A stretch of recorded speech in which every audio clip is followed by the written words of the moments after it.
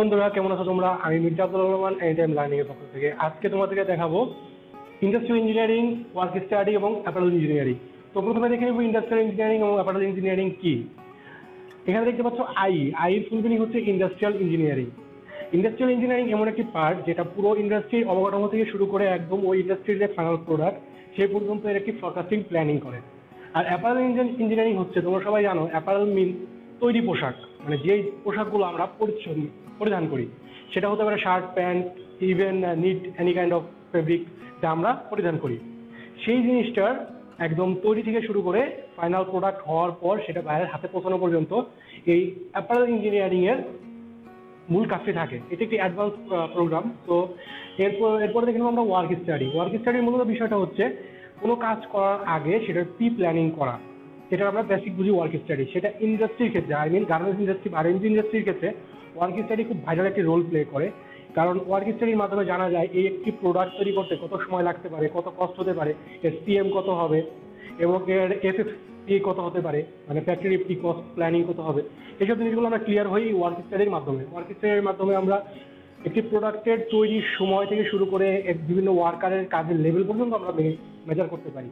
তো work study আমরা দেখতে পাচ্ছি দুটি ভাবে করা যায়। একটি হচ্ছে মেথড ওয়ার্ক স্টাডি এবং ওয়ার্ক মেজারমেন্ট এবং মেথড স্টাডির ভিতরে আছে মোশন ইকোনমি এবং ওয়ার্ক প্লেস ইঞ্জিনিয়ারিং এই দুটোর মাধ্যমে আমরা মেথড স্টাডিটা করে থাকি এবং ওয়ার্ক মেজারমেন্ট যেটা আমরা করে থাকি time GDS swing zero two thousand five capacity historic এবং অ্যানালিটিক্যালের মাধ্যমে।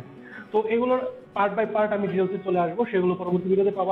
তো বন্ধুরা, চলুন দেখে নিই ওয়ার্ক স্টাডি সম্পর্কে। ওয়ার্ক স্টাডি মূলত কাজ করে একটি হিউম্যান ওয়ার্কের ক্যাপাবিলিটি সম্পর্কে।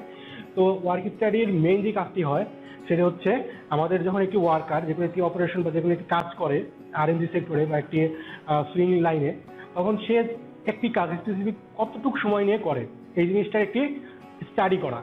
সে একটি প্রসেস করতে কতটুকু সময় লাগ- লাগাচ্ছে, সে একটি কলার বানাতে সে কতটুকু সময় লাগাচ্ছে, সেটি হচ্ছে ওয়ার্ক স্টাডির মেজারিং টাইম তার একটি স্টপ ওয়াচ এই প্রসেসটি কতটুকু টাইম নিল তার ফেব্রিক কতটুকু যাচ্ছে, এই ওভারঅল সকল কনজামশনটা ওয়ার্ক স্টাডির মাধ্যমে স্টাডি করা হয়। এই ওয়ার্ক স্টাডি যতক্ষণ না পর্যন্ত শেষ হয়, ততক্ষণ পর্যন্ত একটি প্রপার প্ল্যানিং কখনোই আসা সম্ভব নয়। বর্তমান যুগে ওয়ার্ক স্টাডি করাটা ইসেনশিয়াল হয়ে পড়েছে। বায়াররা যারা বড় বড় বায়ার আছে, তারা এই ওয়ার্ক স্টাডির মাধ্যমেই প্ল্যানিং চায় এবং অ্যাকচুয়াল প্ল্যানিংটি দিতে পারলে এই কম্পিটিটিভ মার্কেটে অবশ্যই খুব বড় পর্যায়ে যাওয়া যায় এবং এখান থেকে অনেক প্রফিট আর্ন করা যায়, যেখানে অ্যাকচুয়ালি প্রফিট আর্ন করা খুব মানে টাফ হয়ে গেছে। তারপর অনেক প্রফিট আর্ন করা যায়। তো আমরা এখন দেখে নিব এই ওয়ার্ক স্টাডির অবজেক্ট সম্পর্কে।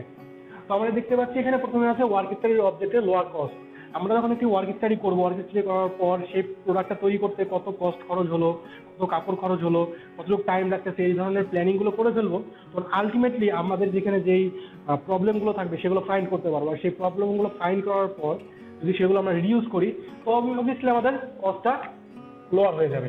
এরপর ইনক্রিজ প্রোডাক্টিভিটি আমরা যখন ওয়ার্ক স্টাডির মাধ্যমে প্ল্যানিং করব, ধরে নিব যে এই শার্টটি বানাতে একটি ওয়ার্কারের বা একটা লাইনে সুইং লাইনের সময় লাগছে পাঁচ মিনিট তো এইভাবে যদি আমরা দশ হাজার পিস একটি গার্মেন্টসের একটা অর্ডারের প্ল্যানিং করি এবং সেই প্ল্যানিং অনুযায়ী কাজ করি অ্যাকচুয়াল কাজ করি অ্যাকচুয়ালি ওয়ার্ক স্টাডি করি, তাহলে আমাদের প্রোডাক্টিভিটি ইনক্রিজ করবে, আমাদের প্রোডাকশন অনেক বেড়ে যাবে। এরপর ইনক্রিজ প্রফিটেবিলিটি আমরা আগেই বলেছি যে ওয়ার্ক স্টাডির মাধ্যমে প্ল্যানিং করার পর সেই প্ল্যানিং অনুযায়ী যদি কাজ করা হয় বায়ারকে সঠিক সময়ে আমাদের প্রোডাক্ট ডেলিভারি দেওয়া সম্ভব হয় এবং এর ফলে আমরা এই কম্পিটিটিভ মার্কেটেও অনেক বেশি প্রফিট করতে পারি। সেক্ষেত্রে আমাদের ইনক্রিজ প্রফিটেবিলিটি হচ্ছে। ইনক্রিজ জব সিকিউরিটি আমরা যখন প্রপার ওয়ার্ক স্টাডি করব এবং একটি কাজের প্রপার প্ল্যানিং করব, তখন আমাদের জব সিকিউরিটি বেড়ে যাবে। আমাদের ওয়ার্কারের জব সিকিউরিটি বেড়ে যাবে ম্যানেজমেন্টের জব সিকিউরিটি বেড়ে যাবে। তো সেক্ষেত্রে আমাদের ইনক্রিজ জব সিকিউরিটিও প্রপারলি হচ্ছে। To make the work easier proper planning এর মাধ্যমে আমরা যে কোনো কাজই ইজি করতে পারি।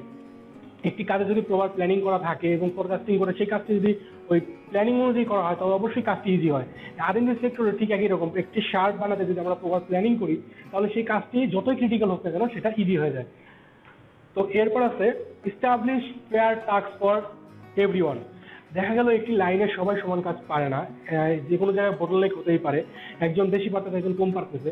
এই ওয়ার্ক স্টাডির মাধ্যমে সঠিক লাইন ব্যালেন্সিং এবং কাজের ফ্লো রাখা যায়। এর ফলে প্রত্যেকের জন্য ফেয়ার টাস্ক রাখা যায়। প্রত্যেকেই তার নিজেদের একটি ফেয়ার টাস্কের ভিতরে কাজ করতে পারে। চেক অ্যাচিভমেন্ট এগেনস্ট স্ট্যান্ডার্ড আমরা ওয়ার্ক স্টারের মাধ্যমে একটি ওয়ার্কারের অ্যাচিভমেন্ট মেজার করতে পারি। স্ট্যান্ডার্ডের যে মেজারমেন্ট আছে, সেই অনুযায়ী মেজারমেন্ট করতে পারি। আমরা প্রত্যেকের রেজাল্ট চাই যখন একটু ওয়ার্ক স্টাডি করা হয় ওয়ার্কাররাও চায় তার রেজাল্ট যে এই কাজটি করতে সে কতটুকু পারদর্শী এই রেজাল্টটা চায়। আমরা ওয়ার্ক স্টাডির মাধ্যমে সেই রেজাল্টটা ওয়ার্কারদেরও দিতে পারি, তাদের কাজের ইন্সপিরেশনও বাড়াতে পারি এবং তাদের এই অ্যাচিভমেন্টগুলো আমরা চেক করতে পারি। তো এই ছিল বন্ধুরা আজকে আমাদের অবজেক্ট পরবর্তী ভিডিও পর্যন্ত আবারও আপনাদের ওয়েট করতে হবে এবং ওয়েট করার সাথে সাথে আমাদের এই ভিডিওটি লাইক করতে হবে কমেন্ট করতে হবে এবং শেয়ার করে আমাদেরকে জানানোর সুযোগ করে দিতে হবে। আর এখনও যারা আমার চ্যানেলটি সাবস্ক্রাইব করেননি please hit the subscribe button এবং সাবস্ক্রাইব করার পর বেল বাটনে প্রেস করে রাখুন। পরবর্তী ভিডিওর সবার আগে নোটিফিকেশন পেতে।